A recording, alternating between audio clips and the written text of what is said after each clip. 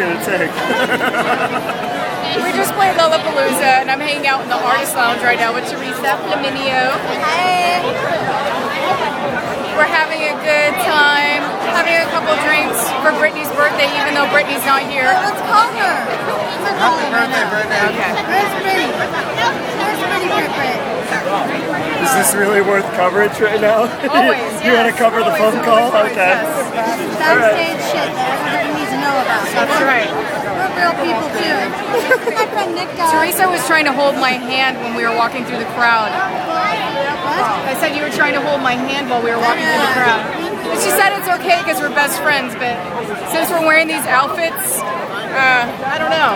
Wait, we're not just best friends, we're bandmates too. Yeah. That's important. You need to be friends with your bandmates. Absolutely. You need to enjoy the people you work with.